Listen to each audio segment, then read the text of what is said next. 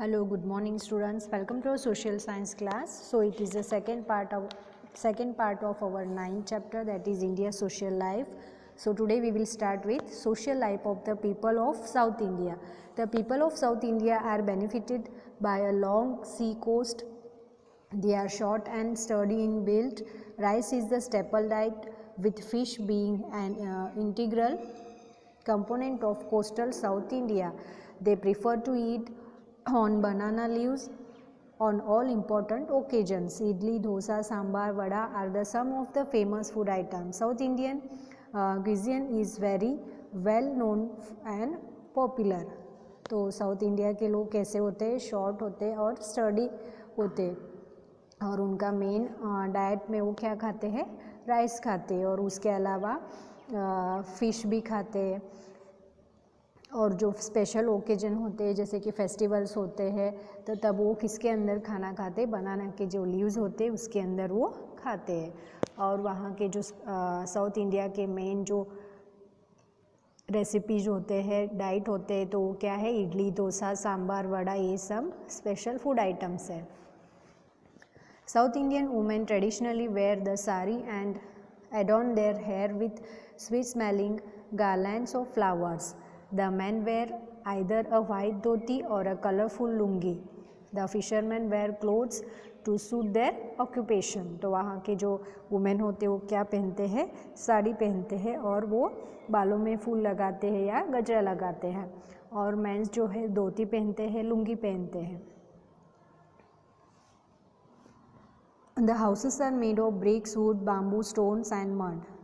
They have sloping roofs as it rains heavily in these areas. People residing near the coastal areas live in huts. The bamboo furniture used in these houses are beautifully made.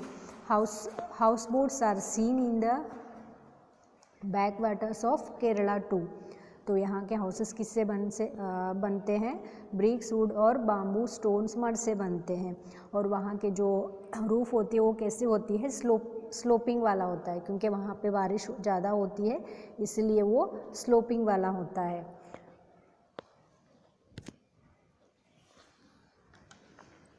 तो आप picture में यहाँ पे देख सकते हो slanting roof और pucca houses with more slanting roof Different languages are spoken in uh, southern India. English and regional languages like Tamil, Telugu, Malayalam, Kannada are widely spoken. तो यहाँ के साउथ इंडिया में ये सारे लैंग्वेजेस बोलते हैं famous for their passion or religion, tradition, customs and culture. People living in South India follow a very uh, ritualistic lifestyle. Therefore, festivals of South India make them popular all over the globe. Onam, Pongal, boat races Dussehra and Diwali are celebrated with great enthusiasm तो ये सारे south India के famous festivals हैं। Mohi Mohiniyattam and Kathakali of Kerala Bharatanatyam of Tamil Nadu and Kuchipudi of Andhra Pradesh are the famous dances of South India ये सारे famous dances हैं south India के। जैसे कि भरतनाट्यम है कथकली है और कुचिपुड़ी ये सारे क्या हैं? Classical dances of South India है। Farming and fishing are the major occupations of the people there paddy is the main crop of the region people seek their livelihood through industries in the urban areas to South Indian culture with its visible differences in customs and traditions form an important part of the Indian culture तो farm farming और fishing जो है, वहाँ का main occupation है और वहाँ के जो कल्टीवेट होता है लैंड में तो वो है पैडी। मतलब वो ज़्यादा राइस खाते हैं तो वो वहाँ पे पैडी ज़्यादा उगाते हैं।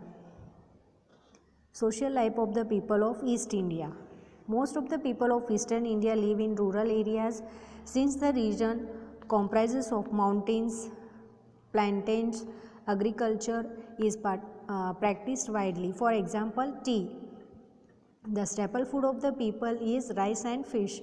But besides that, people also consume pulses and vegetables. Rasgulla, the famous uh, cheesy based syrupy dessert of West Bengal, is popular all over the world.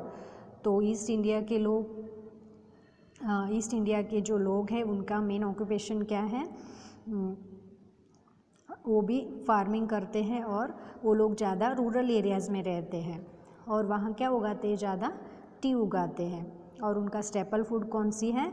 जो राइस और फ़िश है। उसके अलावा भी वो वेजिटेबल्स और पल्सेस भी खाते हैं और जो वेस्ट बंगाल का है फ़ेमस स्वीट डिश है रसगुल्ला। तो वो पूरे वर्ल्ड में फ़ेमस है। People prefer to wear cotton ankle length clothes as the region faces a tropical monsoon climate people are usually short in height men wear the dhoti kurta while women drape their saris in traditional pattern तो वहाँ के लोग क्या पहनते हैं? जो ladies हैं वो साड़ी पहनते हैं उनके ट्रेडिशनल स्टाइल में। और जो मैन में जो मैंस है वो धोती और कुर्ता पहनते हैं और वो हाइट में शॉर्ट होते हैं। Most of the houses of eastern India are made of bamboo and wood, but some are also made of brick and cement. तो वहाँ के हाउस किससे बन, बनते हैं? ईस्ट ईस्टर्न पार्ट्स के ईस्टर्न पार्ट्स ऑफ़ इंडिया के बाम्बू और वुड से बनती है और कुछ ब्रिक और सीमेंट से भी। Tribals in forest areas live in the hut spread over the forest area जो ट्राइबल्स मतलब आदिवासी जनांग है, वो लोग कहाँ पे रहते हैं? फॉरेस्ट एरिया में तो वो कहाँ पे रहते हैं? हर्ट्स में। The houses have sloping roofs due to the excessive rains तो वहाँ पे भी रूप्स कैसे होते हैं? स्लोपिंग होते हैं क्योंकि वहाँ पे बारिश ज़्यादा होती है। The backyards of most houses have small ponds in which in which fish breeding और कल्चरी फ़िश ब्रीडिंग इज़ प्रैक्टिस जो हमें आ, uh, मतलब ज़्यादातर जो हाउस होते हैं उनके पीछे आ, uh, क्या रहता है? एक पॉन्ड रहता है। तो उसके अंदर वो फिशिंग करते हैं। Assamese, Bengali and Oriya are commonly spoken by the people of eastern India. Hindi and English are also spoken marginally. तो असमी बंगाली और ओरिया ये है ईस्ट इंडिया के मेन लैंग्वेजेस तो वहाँ के लोग ये लैंग्वेजेस बोलते हैं। Many festivals brighten the lives of the people of these regions Bihu and Ojapali the folk dances of Assam are very famous तो बिहू और ओजापाली बहुत ही फ़ेमस डांसेस है असम के। India believes in secularism and Indians have the liberty of following the religion of their choice. India offers astounding variety in uh, virtually every aspect of the social life. Diversities of ethnic, linguistic, regional, economic, religious, class and caste groups cross-cut Indian society which is also uh, permitted with immense urban rural differences and gender distinctions a variety of languages and dialects are spoken here तो हमारा एक India ऐसा है कि वहाँ पे विविधता में एकता है तो यहाँ के अलग अलग लैंग्वेजेस है कल्चर अलग हैं और वहाँ के जो फ़ूड आइटम्स हैं वो सारे चीज़ें अलग है तो उसके अलावा जो हमारे धर्म है जाति है वो भी सबके अलग अलग है India, being a multicultural and multi religious society, celebrates the holidays and festivals of various religions. The three national holidays in India, the Independence Day, the Republic Day, and Gandhi Jayanti, are celebrated with zeal and enthusiasm across India. However, with the passage of time, many uh, transformations can be seen in the Indian way of life. For example, changes are visible in diet, apparel, lifestyle, etc. Due to increase in the communication technology and faster means of transportation. Globalization has brought about many change in the social life of the people तो हमारे India में क्या है multi cultural और multi religious society है तो हम लोग बहुत सारे अलग अलग लोगों की धर्म के अलग अलग फेस्टिवल्स को भी सब मनाते हैं तो उनके उनके हॉलीडेज़ भी होते हैं। जो नेशनल हॉलीडेज़ किसके लिए होती है? इंडिपेंडेंस डे रिपब्लिक डे और गांधी जयंती। और ये आजकल ग्लोबलाइजेशन के वजह से बहुत सारे चेंजेस हो गए हैं हमारे इंडियन सोशल लाइफ में।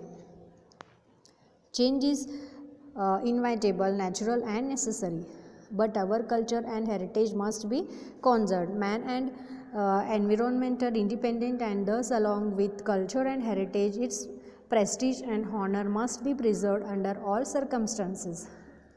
तो हर एक के लिए, हर देश के लिए चेंजेस बहुत ज़रूरी होती है। वो तो नेचुरल भी होती है और इन्वाइटेबल भी है। लेकिन उसके साथ साथ जो भी हमारे कल्चर है, संस्कृति है, उसको भी हमको कंजर्व करना है। The culture of India refers to the way of way of life of the people of India India's languages, religions, dance, music, architecture, food and customs differ from place to place within the country. The Indian culture often labeled as an uh, amalgamation of several cultures spans across, across the Indian subcontinent and has been influenced by the history that is several millennia old. तो हमारे देश को क्या बोला जाता है? सब continent बोला जाता है। क्योंकि यहाँ पे बहुत सारे पूरे देश में इतने सारे स्टेट्स है अलग अलग स्टेट्स के अलग अलग स्टेट्स में अलग अलग रिलीजियंस है लैंग्वेजेस है डांस है म्यूज़िक है आर्किटेक्चर है फ़ूड है कस्टम्स है। तो इसके वजह से हमारे इंडिया को क्या कहा जाता है? Subcontinent in the world the people of the rural areas to enjoy this diversity diversity is seen in the caste colour creed languages, culture, tradition, rituals, customs, thinking and beliefs right from northern state of Kashmir to its southernmost of um, counterpart Kanyakumari and from western Gujarat, northeastern Arunachal Pradesh. The political, social, economic uh, scenario is completely different from one another. Hence, India is known as the land of diversities. तो ये पूरे कश्मीर से लेके कन्याकुमारी तक और गुजरात से लेके अरुणाचल प्रदेश तक। तो वो चारों दिशाओं से अलग अलग रिलीजन है कस्टम्स है कास्ट है लैंग्वेजेस है।